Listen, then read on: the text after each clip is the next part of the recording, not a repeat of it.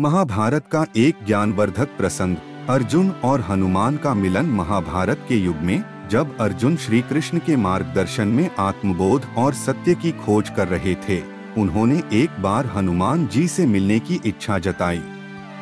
भगवान हनुमान, जो श्री राम के परम भक्त और महाबली थे, उन्होंने अर्जुन की भक्ति और निष्ठा को परखने का निर्णय लिया।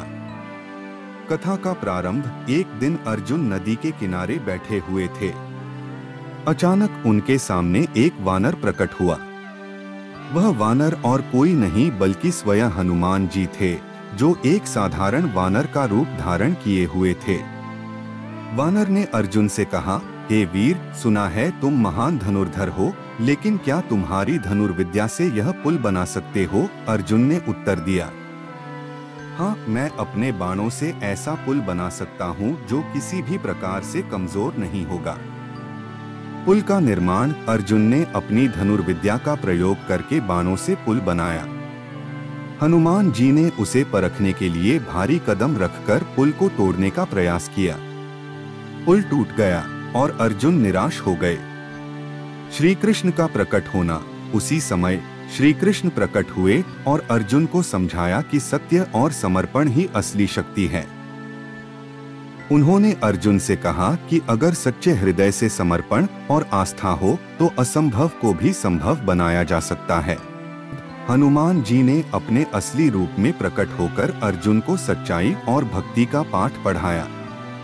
उन्होंने अर्जुन को आशीर्वाद दिया और कहा कि युद्ध के समय वे उनके रथ के ध्वज पर विराजमान रहेंगे, जिससे अर्जुन को शक्ति और साहस मिलेगा। इस कथा से हमें यह सीखने को मिलता है कि भक्ति, समर्पण और आस्था ही असली शक्ति हैं। चाहे कितनी भी महान योग्यता हो, सच्ची निष्ठा और भगवान की कृपा से ही सब कुछ संभव है। आज के इस वीडियो में बस इतना ही। मुझे आशा है कि आपको यह वीडियो पसंद आया होगा। अगर आपको हमारा यह प्रयास अच्छा लगा तो कृपया इस वीडियो को लाइक करें, अपने दोस्तों के साथ शेयर करें और हमारे चैनल को सब्सक्राइब करना न भूलें। आपके सहयोग और समर्थन के बिना हम यहाँ तक नहीं पहुँच पाते। आपके लाइक, कमेंट्स और शेयर हमें और भी बेहतर कंटेंट बनाने के लिए प्रेरित करते हैं। अगर आपके पास कोई सुझाव है या आप किसी विशेष विषय पर वीडियो देखना चाहते हैं तो कृपया नीचे कमेंट सेक्शन में ज़रूर बताएँ।